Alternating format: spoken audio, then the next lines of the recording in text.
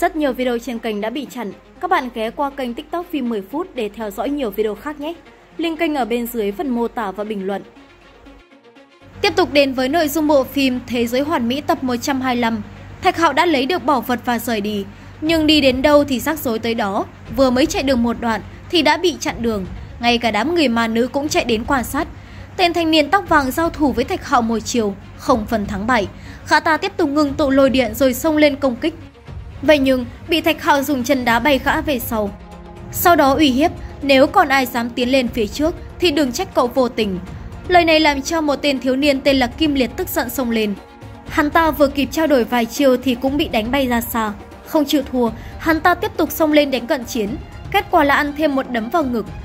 Hai lần bị thua thiệt, Kim Liệt quyết định tung ra tuyệt kỹ Thiên Tứ Thân Đằng tấn công. Thạch Hạo dễ dàng dùng tay cầm chặt tuyệt kỹ của đối thủ, sau đó truyền lực lượng sấm sét qua thần đằng, giật cho tên kia tê người. Hắn phẫn nộ tuyên bố không chết không thôi với cậu. Vậy nhưng Kim Liệt đã quên mất là trước đó cậu đã có lời cảnh cáo. Thấy đối phương không nhớ nên Thạch Hạo đã nhắc lại, còn ai tiến lên thì sẽ chạm kẻ đó. Hắn ta tiếp tục sử dụng ra bảo vật.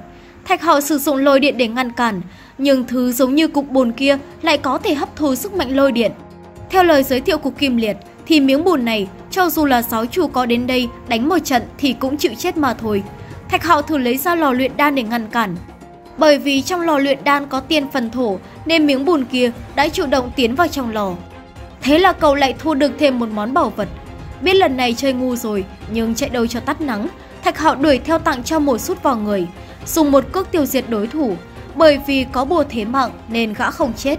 Đúng lúc này, cánh cổng tiến vào khu truyền thừa được mở ra, mọi người không tiếp tục tranh giành nữa mà nhanh chóng tiến vào trong cánh cổng. Rất nhanh, Kim Liệt cũng bị truyền tống ra bên ngoài. Sự xuất hiện của hắn càng khiến cho các thế lực xôn xao. Hắn được coi là sơ đại, trí tôn trong lớp trẻ tuổi, ấy vậy mà lại bị chém. Lão Tổ Bất Lão Sơn chủ động tiến tới hỏi thăm tình hình. Tên kia đem mọi chuyện kể lại, Lão Tổ nghe xong cũng bất an, nhưng cũng bó tay hết cách. Xông qua cánh cổng truyền thừa, Thạch Hạo đi tới một khu rừng. Ban nãy cậu đã cảm nhận được khí tức quen thuộc.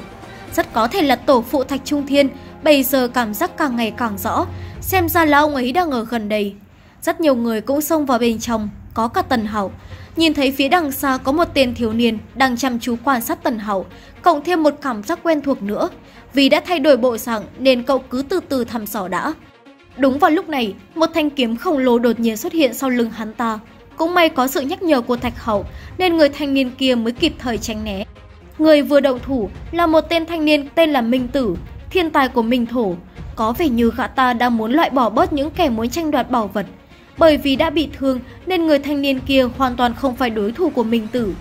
Thạch Hạo buộc phải ra tay ngăn cản đòn công kích, cứu cho người thanh niên một mạng, đồng thời tiện tay xuất lực lượng đẩy lùi gã ta. Dù đã được yêu cầu rời đi nhưng Minh Tử lại không muốn đi, khá cho rằng hành động đó là vô lễ với mình. Những kẻ vô lễ sẽ có kết cục rất thê thảm, Gã vung kiếm chém về phía thạch hậu. Đáng tiếc là không thể tạo ra một chút xây sức nào cho cậu. Sau đó đến lượt cậu phản công, triệu hồi ra nhiều loại bảo thuật tấn công. Vừa ngăn cản xong bảo thuật, Minh Tử vừa kịp vui mừng, thì cậu đã xuất hiện phía sau đấm cho gã rơi xuống dưới. Gã phẫn nộ tung ra tuyệt kỹ. Thạch Hạo nhanh trí sử dụng lôi điện, giật cho tên kia ngu người. Sau đó bồi thêm một nắm đấm khổng lồ tiễn Minh Tử ra bên ngoài chỗ báo xanh cùng với tên Kim Liệt. Thạch Hạo quay lại hỏi thăm người thanh niên có phải đến từ hạ giới không. Lời này làm cho đối phương cũng bất ngờ. Cảm thấy cậu không có ác ý nên hắn ta cũng không giấu giếm. Sau vài câu hỏi thì cũng xác nhận được người thanh niên này chính là Thạch Trung Thiền.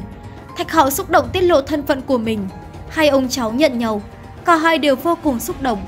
Bọn họ tìm một nơi để nghỉ ngơi hàn huyền. Vì cậu mà ông đã phải chịu khổ rất nhiều. Nhưng Thạch Trung Thiên lại không quan tâm điều đó lắm. Bây giờ thực lực đã đạt tới tôn xa cảnh, có thể trùng sinh bất cứ lúc nào. Chỉ là gần đây bị người khác đuổi giết nên không có thời gian tạo lại chân thần. Thạch Hào kiểm tra qua kinh mạch của ông một lượt.